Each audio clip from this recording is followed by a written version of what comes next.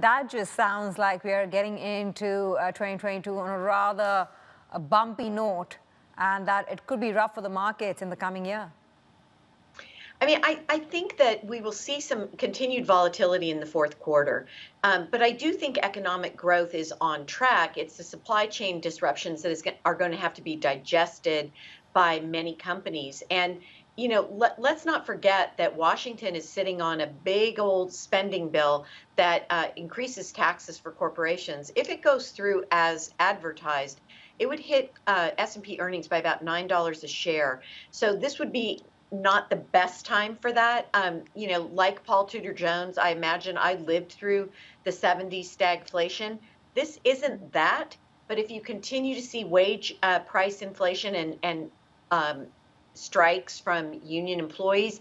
That's how the, the 70s stagflation spiral began. It was, you know, cost of living adjustments that drove up uh, wages. And even with the price increase or the wage increases that we've seen in the US, wage uh, increases on a real basis are still negative.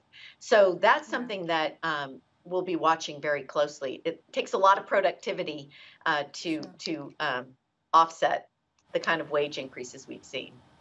Sure, uh, uh, right, Nancy. I mean, we may not be there yet. Uh, uh, you know, just uh, kind of uh, banking on you for your experience. But down the road, what convinces you that we are not headed that way in terms of staring at a stagflationary scenario, given especially the pressures that we're seeing in the labor market? Well, of course, there's no guarantee, and we're certainly concerned about that. We have a low probability on it. Um, you know, you there have to be other factors in place, like a recession, for example, uh, like massive uh, increase in in rate hikes by the Federal Reserve. So far, we're just in a mode of well, we're probably going to be less accommodative in the fourth quarter. You know, we think the Fed waited too long. It's a moot point. It is what it is. But we also think the Fed is hard pressed uh, to raise rates uh, very quickly, which does not mean, Tanvir, that the bond vigilantes won't do it for the Fed. But we think that rates are going to stay somewhat muted. Uh, economic growth, manufacturing, uh, you, you, know, consumption, the consumer still has plenty of cash despite what they've spent.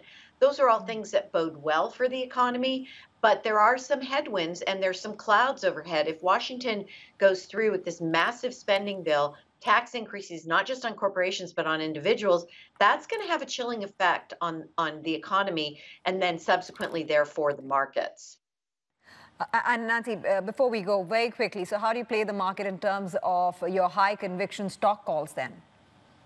So, despite what you're going to hear, um, technology has done better than most any other sector in the last five rising interest rate environments. Be selective. You want to own cybersecurity. You want to own the cloud infrastructure names, data aggregation in the cloud. And then we still like consumer discretionary where it meets digital, materials, and energy should be your overweight.